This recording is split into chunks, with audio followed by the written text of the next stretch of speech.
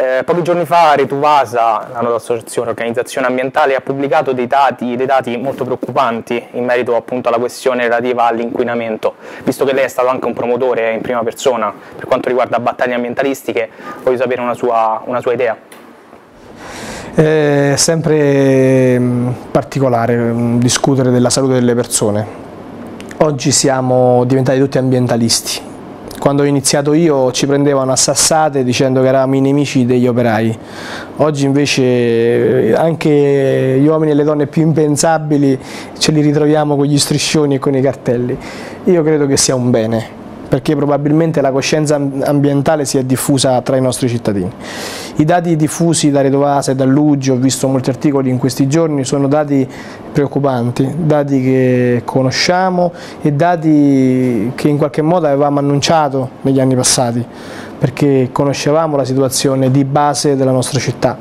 Io credo che il monitoraggio non basta, è necessario per conoscere la verità ma non basta e le nostre debbano essere azioni importanti. Azioni importanti che fuggono come dicevo prima, dalle chiacchiere e passano ai fatti concreti, sia per quanto riguarda la dismissione e la chiusura definitiva della discarica di Colle Faggiolara, che deve essere fatta in tutta sicurezza perché quel mostro non sia un problema per le generazioni future.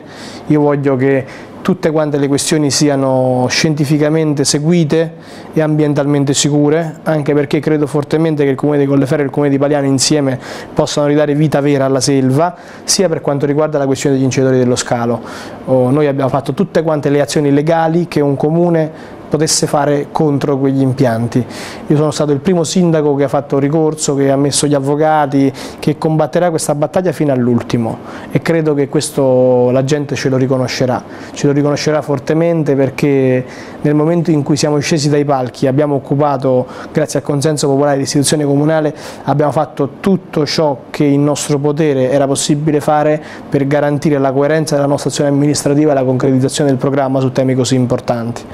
Io credo che ci vorrà tanto tempo perché da un cancro molto forte si guarisce forse solo dopo cure molto pesanti, ma quando andrò via lascerò al sindaco che verrà dopo di me una città molto diversa da quella che ho ereditato.